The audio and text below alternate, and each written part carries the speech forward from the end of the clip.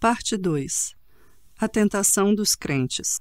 Visto que você guardou a minha palavra de exortação à perseverança, eu também o guardarei da hora da provação que está para vir sobre todo o mundo, para pôr à prova os que habitam na terra.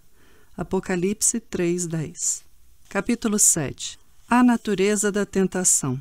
Se você notou as formas diversas, intensas e variadas de tentação que confrontam os cristãos atualmente, então entenderá por que estou escrevendo esse tratado.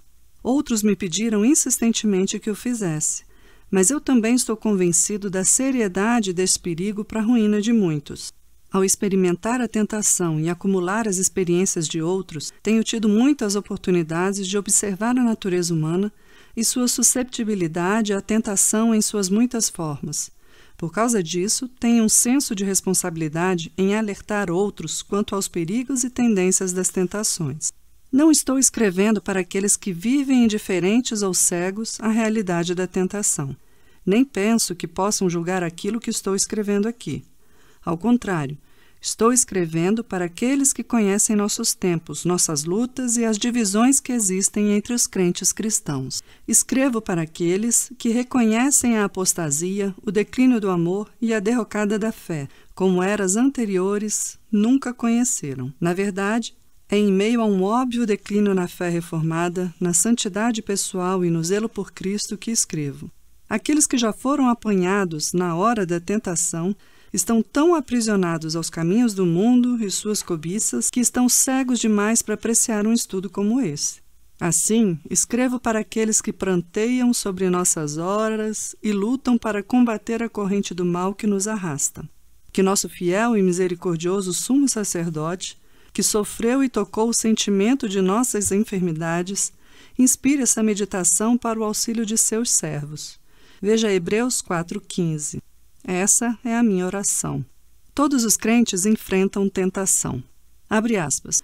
Vigiem e orem para que não caiam em tentação. Fecha aspas. Mateus 26, 41, Marcos 14, 38, Lucas 22, 46. Essa vigilância deve caracterizar aqueles que estão em grande perigo. O escritor de Provérbios 23:34 nos diz que alguns são, abre aspas, como quem dorme no meio do mar, como quem se deita no alto das cordas do mastro, fecha aspas. Isso significa dizer que são homens aquietados pela segurança diante da possibilidade de destruição. Os discípulos agiram como esses homens enquanto estavam com o nosso Salvador no jardim do Getsemane. Não muito distante deles, o mestre oferecia, aspas, orações e súplicas em alta voz e com lágrimas, fecha aspas, Hebreus 5:7. Os judeus se aproximaram armados no intento de destruir a ele e aos discípulos. Nosso Salvador havia advertido os discípulos de que naquela noite seria traído, preso e então morto. Eles puderam perceber que ele estava entristecido e angustiado, como vemos em Mateus 26, 37. Na verdade, ele lhes disse claramente que sua alma estava, abre aspas, profundamente triste numa tristeza mortal. Fecha aspas. Mateus 26, 38. Por isso, ele tentou convencê-los a vigiar e orar antes que morresse por eles. No entanto, diante daquelas circunstâncias, como se tivessem abandonado seu amor por ele, eles caíram no sono. Isso sugere que até mesmo os melhores santos, quando deixados à própria sorte, rapidamente parecem ser menos que homens, pois toda a nossa força própria é nada, senão fraqueza, e a nossa sabedoria, desatino. Pedro é um exemplo dessa fraqueza. No início daquela noite, ele afirmara confiante que, mesmo que todos abandonassem a Cristo, ele nunca o faria. Nosso Salvador agora reclama com ele, dizendo, abre aspas, vocês não puderam vigiar comigo nem por uma hora? Fecha aspas. Mateus 26, 40. É como se tivesse dito: Você é o mesmo Pedro que fez aquela afirmação tão enfática de que não me abandonaria, e no entanto agora não consegue ficar acordado para vigiar sequer uma hora. É isso que significa o seu morrer por mim? Ficar aí deitado confortavelmente enquanto eu estou morrendo por você? Encontramos essa mesma raiz de traição em nossos próprios corações. E Romanos 7,18 descreve o fruto disso. Nessa situação, somos todos advertidos no sentido de perceber a nossa condição, fraqueza e o perigo que corremos por meio das palavras de nosso Salvador. Abre aspas, levantem-se, vigiem e orem. Fecha aspas. Não me deterei no contexto específico dessas palavras para os discípulos. O texto, na verdade, possui um mandamento geral a todos os discípulos de Cristo em todas as gerações. Dois aspectos dele serão considerados aqui. Primeiro, o mal que gera a advertência, tentação. E segundo, os meios através dos quais ele prevalece, o fato de cairmos nela. Como Deus, entre aspas, tenta os crentes. Não pretendo falar meramente sobre a natureza da tentação nesse tratado. Consideraremos como evitá-la nos capítulos seguintes.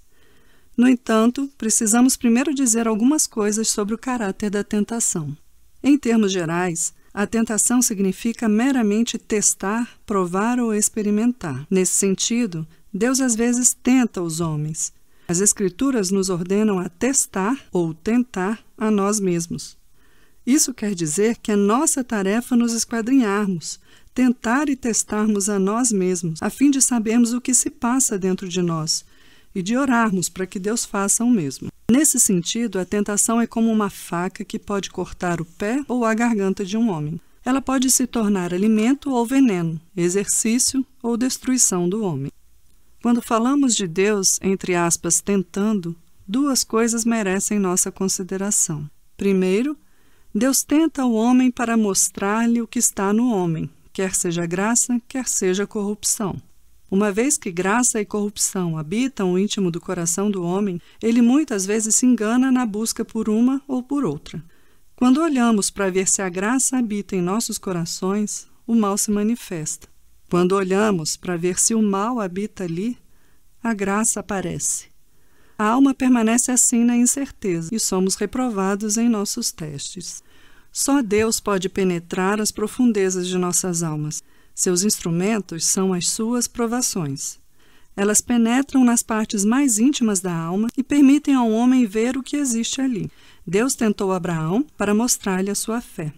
Abraão não conhecia o poder e o vigor de sua fé, até que Deus o testou por meio de uma grande prova. Veja Gênesis 22, 1, 2. Do mesmo modo, Deus testou Ezequias para expor o seu orgulho, deixando-o temporariamente a fim de mostrar-lhe o que havia em seu coração. Veja 2 Crônicas 32, 31. Ezequias nunca percebera que tinha um coração orgulhoso, até que Deus o provou e permitiu-lhe ver toda a sujeira que dele brotava. Segundo, Deus nos testa para revelar-se ao homem. Ele faz isso por duas razões. Em primeiro lugar, seus testes ajudam o homem a perceber que ele vai adiante de nós em graça. Até que enfrentemos a tentação, pensamos que vivemos por nossas próprias forças. Nós nos gloriamos de que, embora outros possam fazer esse ou aquele mal, nós nunca o fazemos. Mas quando vem a provação, enxergamos rapidamente onde somos guardados e onde caímos. Isso é ilustrado por Abimeleque, que pensou que mantinha sua própria integridade. Em um sonho, Deus lhe mostrou, aspas, eu mesmo impedi que você pecasse contra mim. Fecha aspas. Veja Gênesis 26. Deus também nos testa para mostrar que renova a graça a nosso favor. Deus continuou a testar Paulo depois que ele orou por libertação, a fim de revelar-lhe a suficiência de sua graça. Veja 2 Coríntios 12, 9. A suficiência de sua graça não se manifesta a nós até que comparemos nossa fraqueza à força de um teste. É como o poder de um antídoto, que somente é revelado depois que um veneno foi ingerido. Do mesmo modo, o valor precioso da medicina só é conhecido por meio da enfermidade, e nós nunca conheceremos a força da graça de Deus até que experimentemos a tentação. Deus se revela através da tentação de três maneiras. Primeiro, ele coloca sobre os homens responsabilidades e tarefas pesadas que eles consideram impossíveis de assumir e realizar. Deus tentou Abraão dessa maneira, mandando-o sacrificar seu próprio filho. Um desafio como esse parece absurdo para a razão, está além de nossos instintos naturais. É doloroso demais, seja qual for o aspecto dele que consideremos. No entanto, Muitos de nós não sabemos o que vai dentro de nós, ou o que nos está disponível até que encaremos um teste.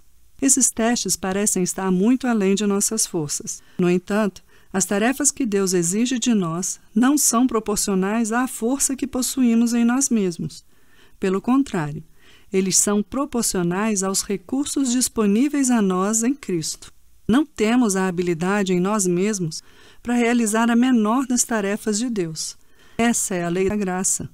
Quando reconhecermos que é impossível para nós executar uma tarefa com nossas próprias forças, descobriremos o segredo de sua realização. Mas, infelizmente, esse é um segredo que quase sempre fracassamos em descobrir. Sob o jugo de Cristo, ele parece mais uma provação ou uma tentação. Segundo, Deus se revela por meio de grandes sofrimentos. Muitos têm encontrado força inesperada para suportar provações por Cristo ou até mesmo morrer por seu nome. Através de uma provação, Deus os chamou para experimentar a sua força. Pedro diz que o poder de Deus nos guarda, mesmo quando passamos por tentações que nos testam. Veja 1 Pedro 1, de 5 a 7. Nossas tentações que surgem a partir da, aspas, prova de fogo, aspas, do nosso sofrimento, no final se tornam a prova de nossa fé. Terceiro, Deus se revela por meio de sua disposição providencial.